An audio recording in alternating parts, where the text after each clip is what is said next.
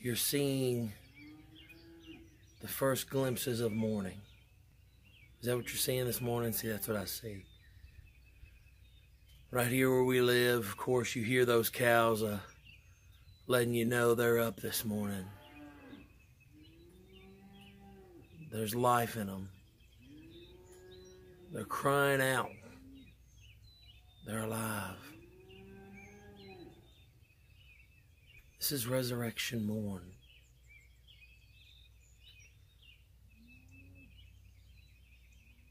I wondered, I prayed, I thought about what to say this morning, and truly, it pales in comparison. You say, What do you mean, Brother John?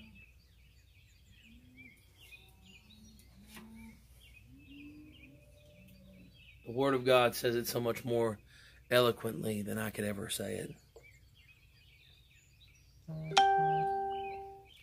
The Word of God says it so much better than I ever could. You see,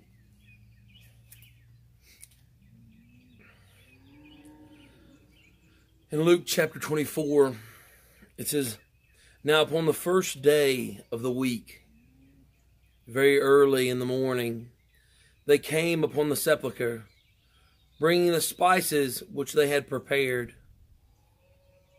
and certain others with them, and they found the stone was rolled away from the sepulchre. And they entered.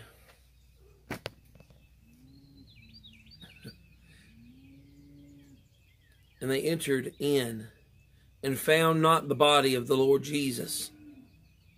And it came to pass, as they were much perplexed thereabout, behold, two men stood by them in shining garments. And as they were afraid and bowed down their faces to the earth, they said unto them, Why seek ye the living among the dead? He is not here, but is risen. Remember how he spake unto you when he was yet in Galilee, saying, The Son of Man must be delivered into the hands of sinful men and be crucified, and the third day rise again. And they remembered his words and returned from the sepulchre and told all these things unto the eleven and to, and to all the rest. It was Mary Magdalene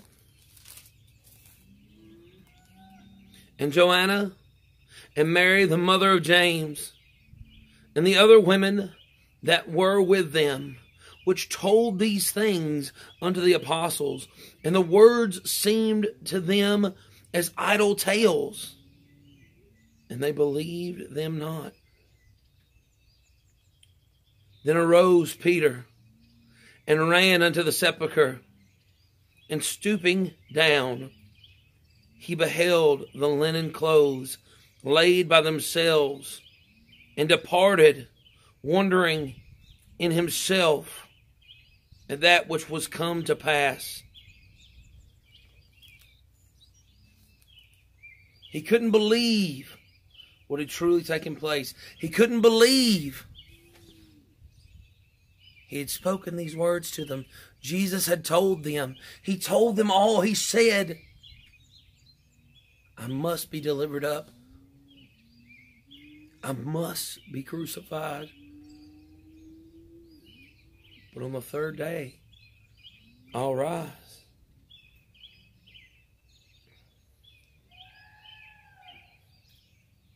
I'll rise. The Bible says that the two men said, Why seek ye the living among the dead?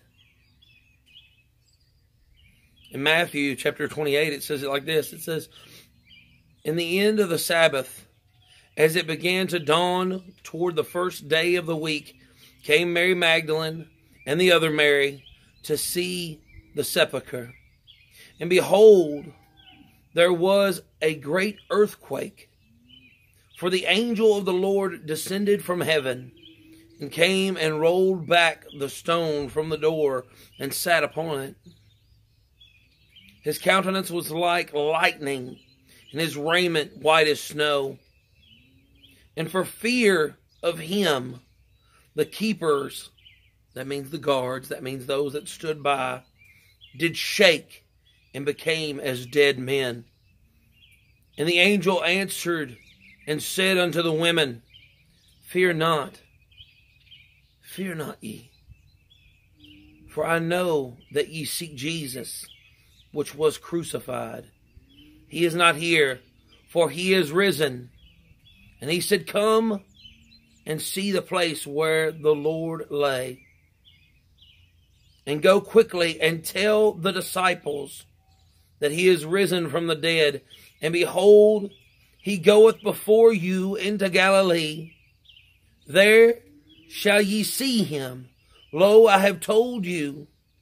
And they departed quickly from the sepulchre with fear and great joy and did run to bring his disciples word. Can I tell you this morning? We should go and depart with joy. Can I tell you, I know what we're facing. I know what's all around us. I know the sickness uh, that is upon this world today. I know the sadness and sorrow. Listen, as I sit here this morning, uh, as I told you Friday, my heart is troubled. I feel heartache. I feel sorrow as we uh, have uh, lo- have not lost. And let me let me correct that we hadn't lost her. We know where she's at. But one of our dear sisters uh, has left this world, uh, has left the body, as the word says, to be absent from the body is to be present with the Lord. So I know exactly where she's at. We ain't lost her or misplaced her. Can I tell you that this morning? But I know where she's at. She's in the hands of that loving Savior that uh, over 2,000 years ago rose again on this fine morning. Can you see the sky starting to brighten up? Can you see the light starting to come, even in the midst of the darkness. Uh, can I remind you what the psalmist said? Even though weeping may endure for the night, uh, but joy cometh in the morning. Can I tell you right now? Mm-mm-mm-mm even, even as the light starts to come across the skies, as the sun rises triumphantly again, can I not tell you this morning? Can you not understand? Can you not grasp what I'm saying to you when I tell you this? We have a victory in Jesus. It's not just an old gospel song out of an old battered hymnal. It's not just some old tale that one might tell another. But can I tell you this morning as we stand here victorious. Uh, can I tell you this morning? My Jesus is alive. Why seek ye the living among the dead? My Jesus is alive. He's alive forevermore. And I will sing hallelujah. I'll sing hallelujah. My Jesus is alive. Can I tell you this morning? I don't know what your plans might be. I know that this this year, uh, th- this year, this month, this uh, this Easter has not been the same as we have before in the past. I know that I would much rather be there at the corner of Second and Maple, uh, there with our church members. I would much rather be uh, sitting there uh, enjoying a cup of coffee with my church members, my brothers and sisters in Christ. I would much rather be hugging their neck uh, and telling them how much I love them. I see this morning, I see many of you signing on this morning, and I, I would start naming names, but I'd get myself in trouble. I'd miss somebody. But can I tell you, I'd much rather be sharing uh, the morning with you uh, in person. I know the restrictions we must abide by. I know what we have to do today. But can I tell you right now, I know more than that what we have to do each day. And that is to celebrate that we serve a living God, not a dead God, no longer in a sepulcher, no longer in a tomb. The stone was rolled away. He is no longer wrapped up in grave clothes. The Bible says that Peter found him laying to the side because he's no longer in him. He's no longer in the grave. Can I tell you right now? It says over in the book of Revelation that he stands as a living God. He that was dead but is alive again, and he that holds the keys to death, hell, and the grave. Can I tell you this morning? I don't know who you serve, but if you're sitting in the darkness thinking there'll never be light again, I serve the light bringer. I serve the one that lights up my life. The Bible says that there he will be the light of that city when I go to heaven one fine day. Listen, I know that our sister has went on before us, but she is already basking in the true light. Praise God. He is the light the way, the truth, and the life. he is the resurrection. Praise God. Oh, Jesus. he told Mary and Martha there uh, uh, nearby the graveside, nearby the tomb of Lazarus. He said, Don't you know that your brother will rise? And they said, We know he'll rise uh, in the resurrection. But he said, I am the resurrection. You know what I'm saying? Maybe you don't know what I'm saying. But let me tell you this morning. My Jesus didn't just talk it, he walked it. No one took his life, he laid it down. And just as he laid it down, he picked it back up again. Can I get an amen from somebody this morning? If you're not too scared of what somebody might do to you, listen, uh, I ain't in no car, you ain't in no car, so they ain't gonna write down your license plate number this morning. Can I tell you right now, we're gonna celebrate Jesus anyway.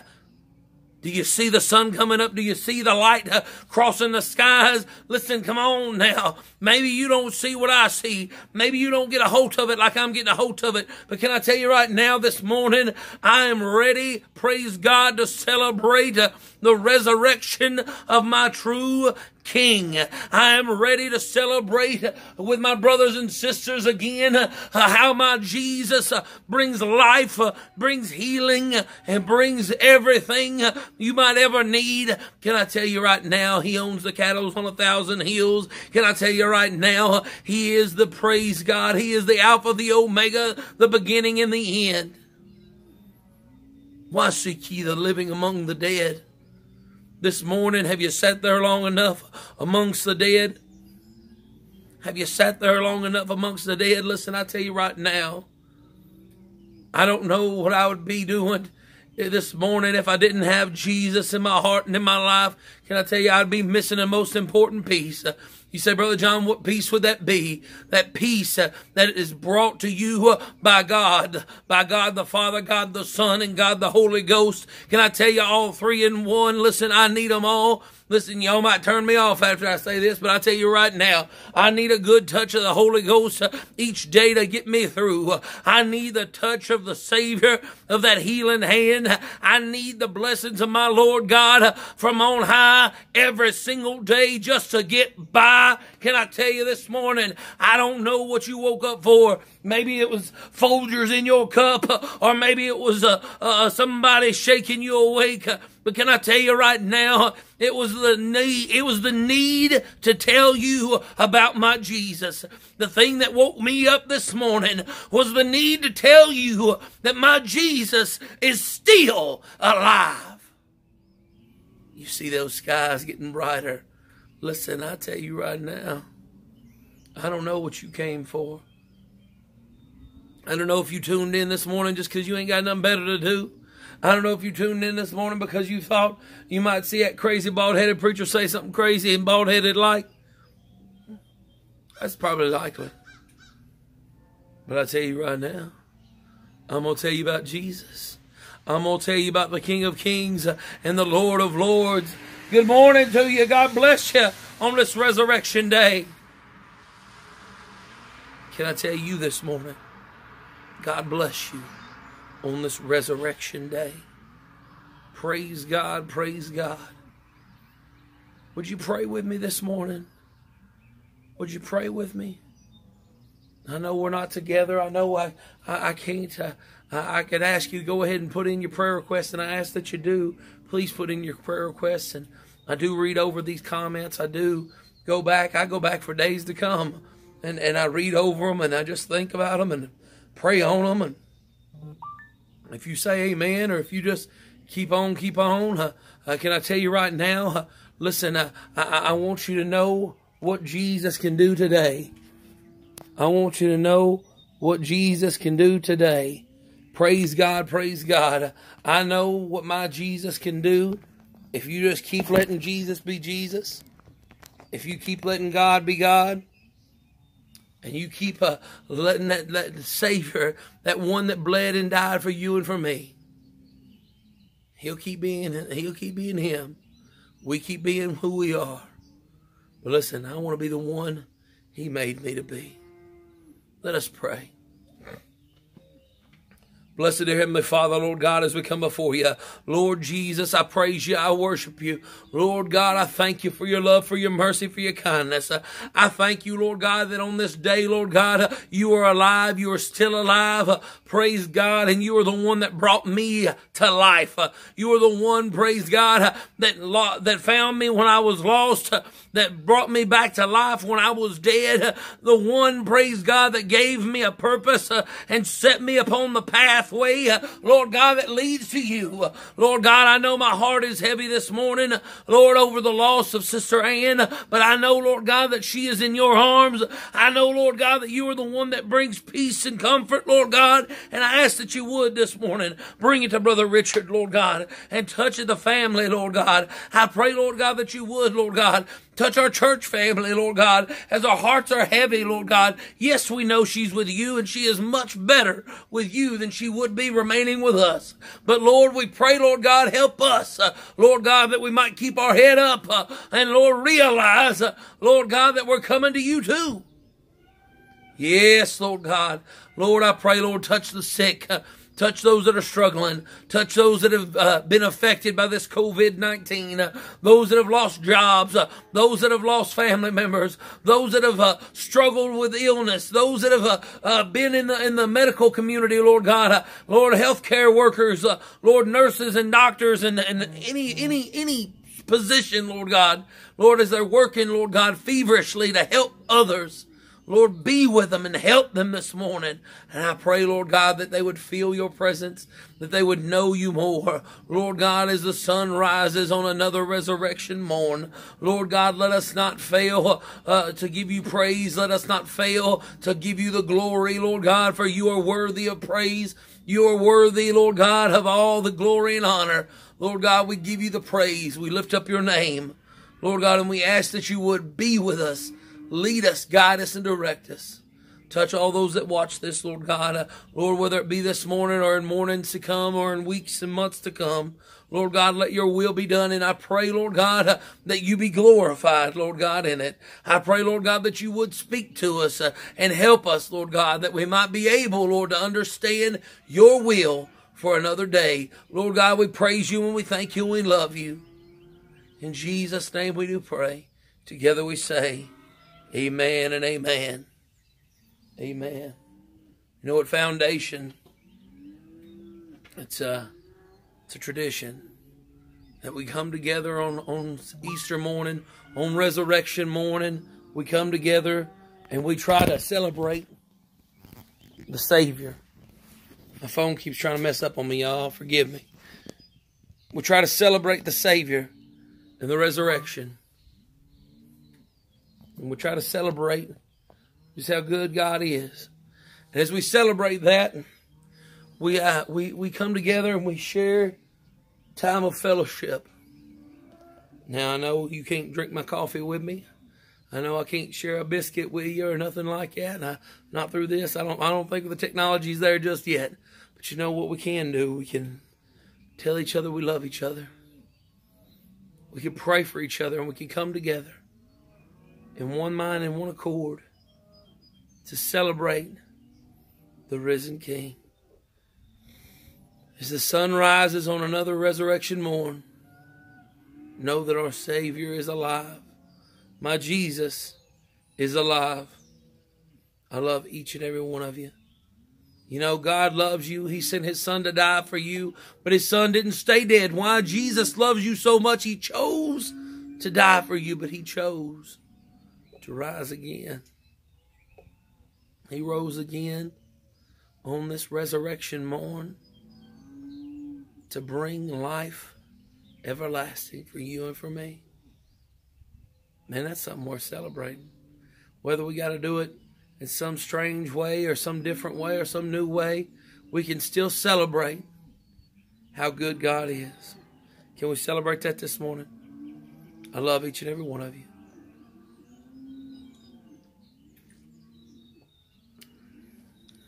Do love my coffee. we love you this morning. We're praying for you. Remember, God loves you.